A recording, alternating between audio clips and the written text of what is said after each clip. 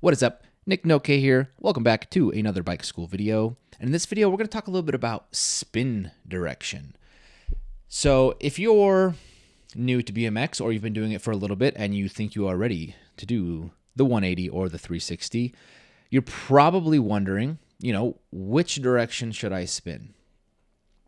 Well, you could do what I did and you just go with whatever direction in your head feels like it would be more comfortable. Now, one thing that I have learned is that what direction feels more comfortable to you before you've learned something doesn't really matter. Enough repetition of something, and you can make any direction feel comfortable.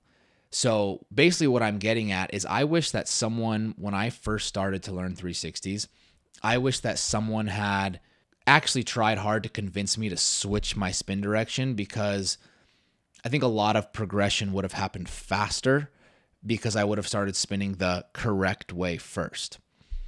And what I mean by that is, I'm sure you've heard of the term goofy footed. Uh, some people think it's goofy footed because you just look goofy when you do it. Um, that's not true.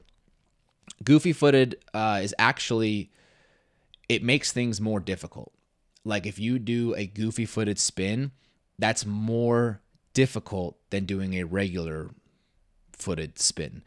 And goofy foot has nothing to do with left foot forward or right foot forward.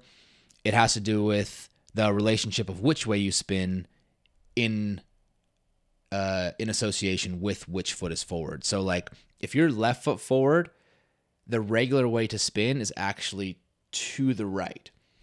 If you're right foot forward, the regular way to spin is to the left.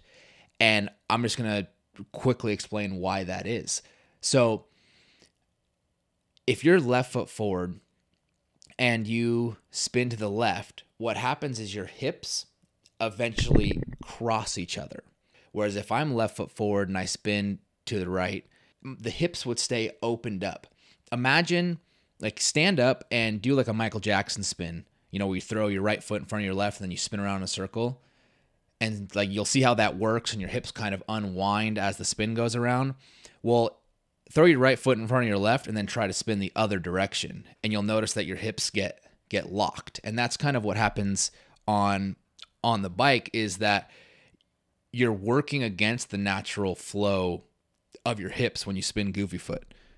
Now, obviously, I do 720s goofy footed. There's guys who do 1080s goofy footed. You can totally do it, but it is substantially more easy to spin the correct way. Like it took me so long to learn how to do a hop 360. And then I started trying it the other direction and it worked like pretty instantly. Even though in my head it didn't feel as comfortable, it was actually more easy. So, you know, take into consideration if you're left foot forward, you know, and you want to spin to the left and you're okay with spinning goofy footed, just know that it might take you longer to learn it that way, even though it feels more comfortable. So, what I would say is honestly, try it both ways. Like, try learning it simultaneously both ways, and you may may realize that even though it's more uncomfortable you know, your opposite preferred direction, it might just happen easier for you. And uh, yeah, that is goofy footed spinning and uh, my little bit of insight on which direction you should spin. So think about it. All right. See you in the next video.